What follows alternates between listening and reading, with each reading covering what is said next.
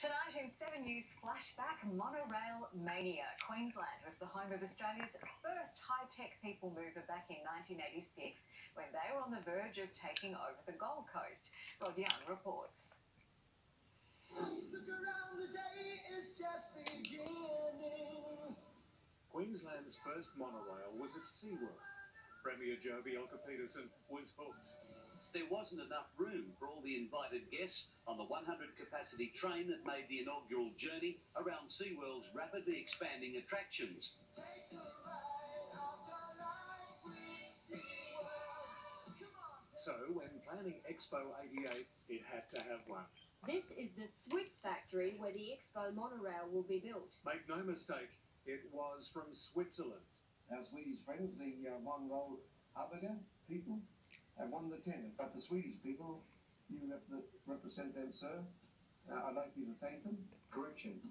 Uh, uh, a Swe- uh, Swiss, not Swedish. It's gonna be great, and I just can't wait. It's gonna be great, and I just can't wait. The Expo 88 monorail opened four months early,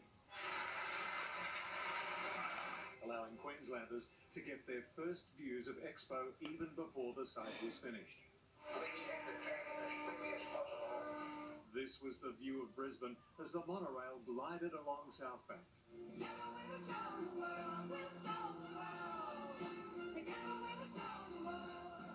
The following year, in 1989, Queensland's third monorail opened. At $1 a ride, hundreds of shoppers queued for takeoff. The $10 million monorail travels almost silently through the new Oasis shopping centre across the Gold Coast Highway to Jupiter's Casino.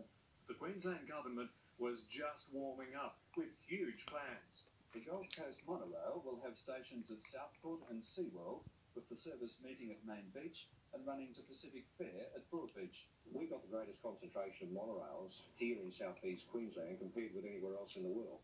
But the coast plan was met head on with protests organised by Kerry Smith. and they are the people who are going to be directly affected by this monstrosity.